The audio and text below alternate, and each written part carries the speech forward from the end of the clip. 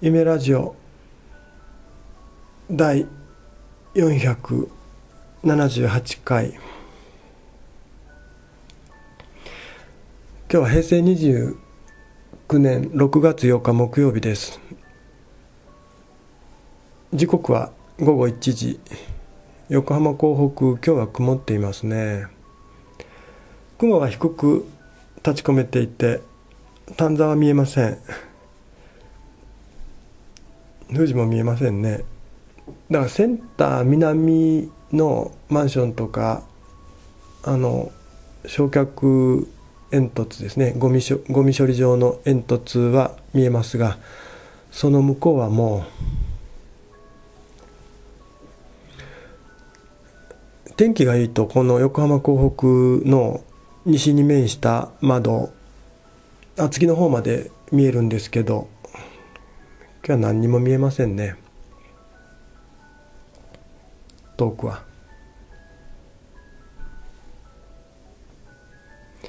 478回目の夢ラジオ。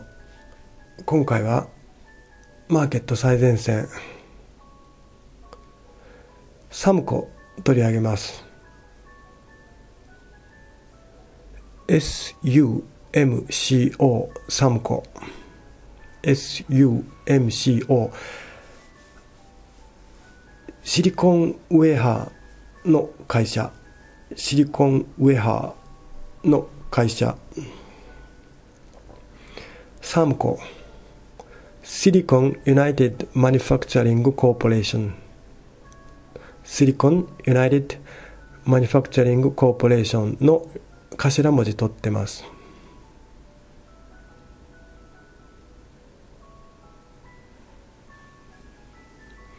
シリコンウェハーってなんや？半導体の基幹部分ですよ。半導体の基幹部分。シリコンウェハー。それを作っていますね。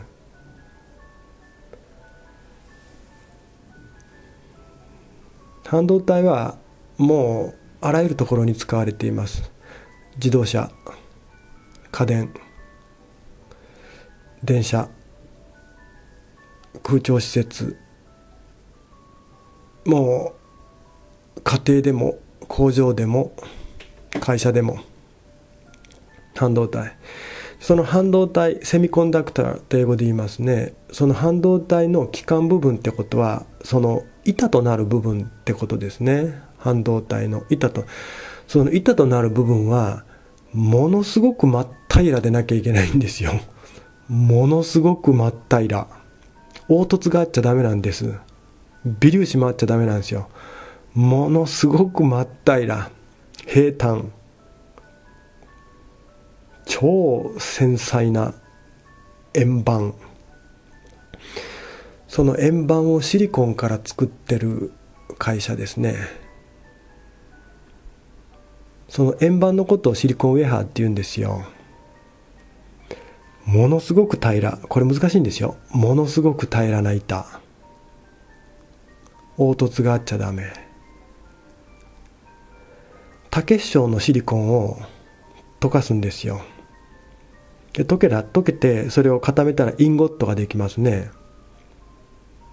でそのインゴットをこうスライススライスこう切っていって磨いて研磨して洗浄してシリコンウェハーだと。言えば簡単なんですけどこれがものすごい技術。こういうの日本人得意なんですよ。ねネジでも完全な円に近いネジとかあれ穴開けるにしても完全な円に近い穴開けるってこれできないんですよ。それやっちゃうんですね日本人って。もう1ミリの1000分の1みたいな単位も大丈夫みたいな。いかにも日本らしい企業。で今年2017年はねもう半導体の年なので、うん、3個取り上げますね。ただねもう放送に言っておきますけど去年の夏の株価から見ても去年夏の株価から見てももう3倍ほどに上がってるんですよサムコは。だから、まあ、乗るなら去年夏とは言わないまでも半導体の復調が鮮明となってきた秋冬またはもう3月ぐらいだったでしょうね。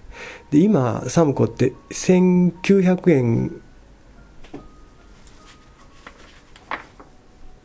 うん1900円ぐらいの株価なんですけどあのちょっと今から乗るの乗れるかなって感じなんですね。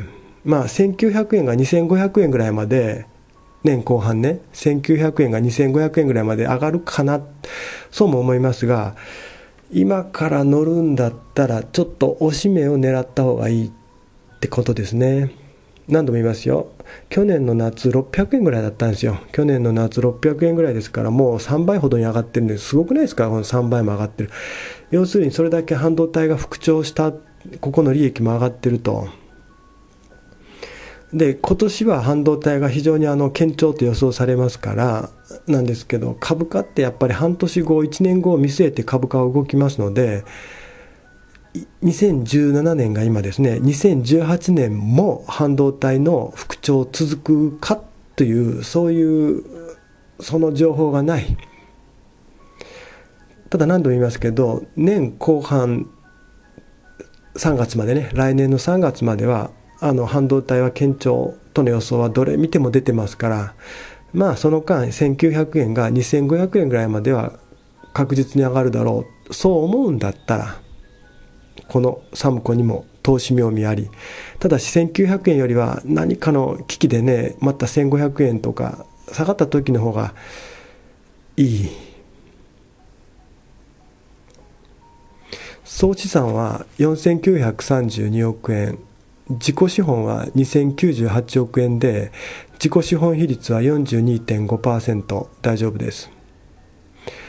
で世界的に見てもシリコンウェハーのシリコンウェハーの、えっと、3割がこのサムコを占めてます。すごい。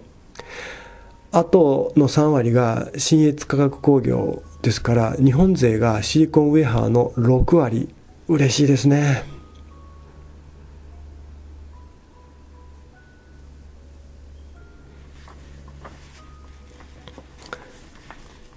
確定の売上2113億円。営業利益140億円。経常利益99億円。最終利益65億円。EPS23 円。なんや23円って。大したことないやないか。1株当たりの利益が、うん、ただしこれは昨年12月決算のお話でね。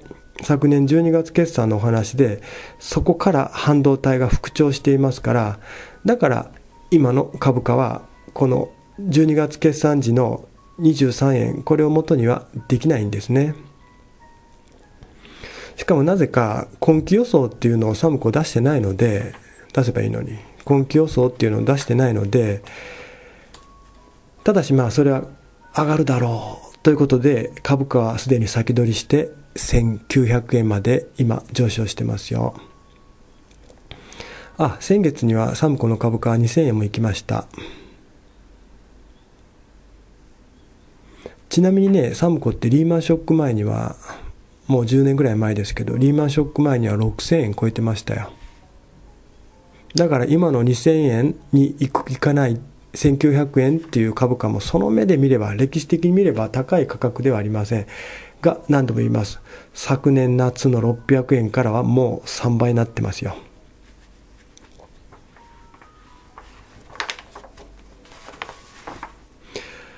2017年度つまり来年の3月までは半導体は非常に堅調。これはソニー見てもそう。東京エレクトロン見てもそう。ですからこの3個もそうなんですよ。ただし株価はすでにそれを織り込んで今の1900円です。だから PER なんか今80倍ぐらいになってますよ。PER は80倍。で PBR も2.6倍なわけでちょっとこれで買えるかなってさっきから言ってるのはそういうことなんですね。だからじっとこのサムコについては株価を追いかけといて毎日追いかけることが大事ですよ。そしてよっしゃという時があります。サムコと関係のない理由で世界のどっかで何とか危機が起きたと。今の1900円ぐらいの株価が1500円1400円1300これぐらいになってきたらね。でなります。今そう思いませんがそういう危機が起きればなるときはなるんですよ。だからそこをじっと待ち構えておくことが大事でしょうね。そんな危機起きなかったらどうするんだと。このまま今の1900円から順調に右肩上がりして2500円や3000円いったらそれはしょうがないですよ。それは。それは見送りでもうしょうがなかったと。うん。やっぱ下がる可能性が十分にある株価水準なので今も上がり上がりってるわけなんですよ。だからあのこのままここで乗って2500円や3000円目指すという楽観的なシナリオは描きにくいですよ。どこかでたとえ2500円3000円になるとしてもどこかで下がる時があると私は見ます。安易に株は考えない方がいいですね。夢ラジオ。478回目。今回はシリコンウェハー世界最大手新越科学と並んでいます。3個取り上げました。5番のマーケットに戻ることにしましょう。